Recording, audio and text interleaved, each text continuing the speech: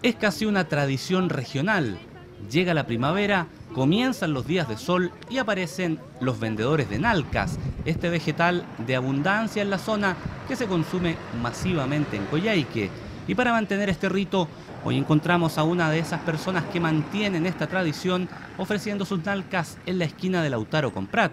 Desde 500 y hasta 1500 pesos cuestan estos tallos robustos y apetitosos que a varios y varias los han llevado a definirse como adictos a las nalcas.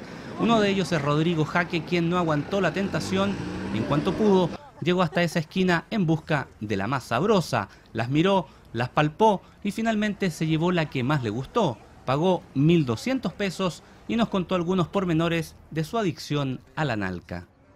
Me encanta la nalca porque la como de cabro chico, creo que con limón, sal, queda pero exquisita. Ahora elegiste esa de ese valor, ¿por qué? ¿En qué te fijas al momento de elegirla? En que tenga forma de cocollito de arriba y que tenga flexibilidad porque está blandita. Así la voy a encontrar blanca. Depende si es de arenal o si es de, de zona más de pangales, que cambia el color, pues una puede ser roja y la otra es blanca. Generalmente la gente se la come con sal. ¿Hay alguna otra forma de consumir nalca? Tú te la puedes comer como ensalada, con sal y limón, picadita. Pero no tienes que usar cuchillo para picarla, porque si no se pone amarga. La vendedora nos contó que la temporada dura tan solo dos meses, ya que después las nalcas no son aptas para comerlas.